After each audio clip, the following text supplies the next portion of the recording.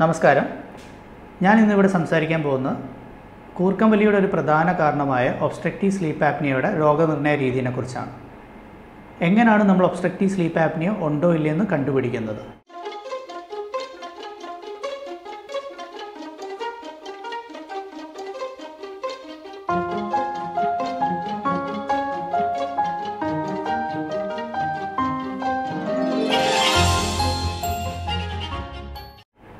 നമ്മൾ പോളിസോമിനോഗ്രഫി അഥവാ sleep study ചെയ്താണ് നമ്മൾ രോഗനിർണയം നടത്തുന്നത്.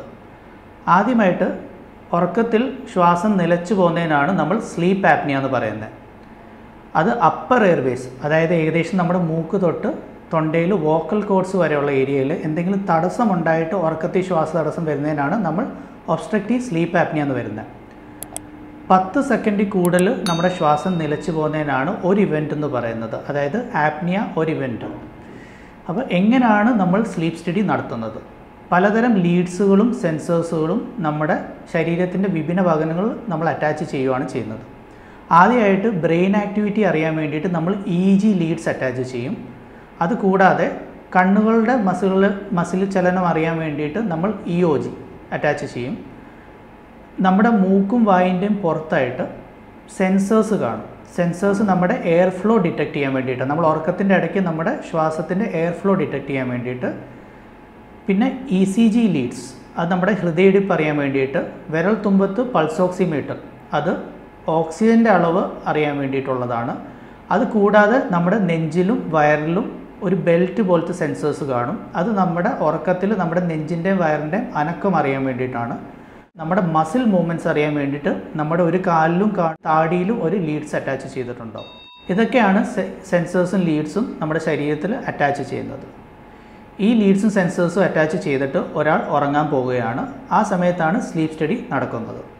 സ്ലീപ്പ് സ്റ്റഡി തന്നെ പല ലെവലുകളുണ്ട് level one level two level three level four study level one sleep study എന്ന് പറയുന്നത് നമ്മൾ ആശുപത്രിയിൽ ഒരു സ്ലീപ്പ് ലാബിൽ നടത്തുന്ന സ്റ്റഡിയാണ് ഈ സ്ലീപ്പ് സ്റ്റഡി നടത്തുമ്പോൾ ലെവൽ വൺ സ്ലീപ്പ് സ്റ്റഡി നടത്തുമ്പം ഒരു സ്ലീപ്പ് ടെക്നീഷ്യൻ എപ്പോഴും കാണും. നമ്മൾ വീട്ടിൽ വന്ന് നടത്തുന്ന സ്ലീപ്പ് സ്റ്റഡിയാണ് നമ്മൾ ലെവൽ ത്രീ സ്റ്റഡി എന്ന് പറയുന്നത്. ലെവൽ ത്രീ സ്റ്റഡിയിൽ ഈ പറഞ്ഞ ലീഡ്സും സെൻസേഴ്സും എല്ലാം കാണത്തില്ല. നേരത്തെ ഞാൻ പറഞ്ഞ പോലെ E G leads brain activity അറിയാനുള്ള ലീഡ്സ് കാണത്തില്ല.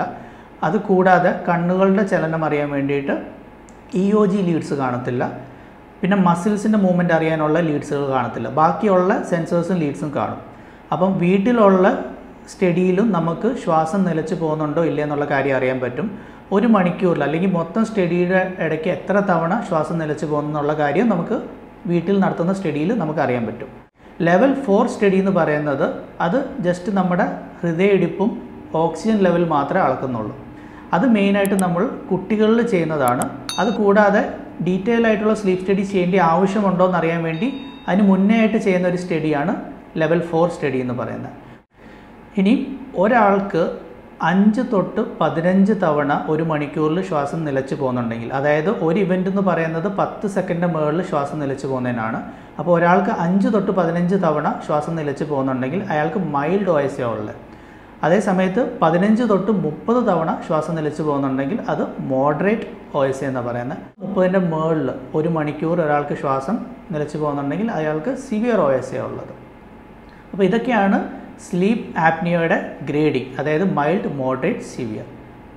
കൂർക്കമലിയുടെ പ്രധാന കാരണമായ ഒബ്സ്ട്രക്റ്റീവ് സ്ലീപ്പ് ആപ്നിയയുടെ എന്താണ് കാരണങ്ങളും ലക്ഷണങ്ങളും എന്ന് അറിയണമെങ്കിൽ പാർട്ട് വൺ വീഡിയോ കാണുക.